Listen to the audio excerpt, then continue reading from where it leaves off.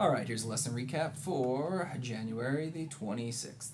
We started off with our warm-up intro. That was 5, 6, 7, 8, all the way up and all the way back. So 8, 7, 6, 5. Focusing on clean notes, sustain on each note, especially the pinky finger. Paying real close attention to uh, the metronome and alternate picking. That means down and up picking.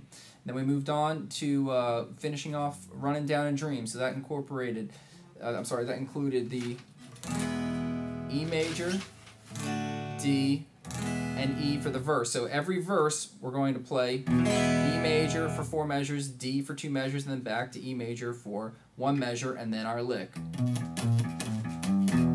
Right? And then we had our chorus, which was one, two, three, four, one and two and three and four and one, two,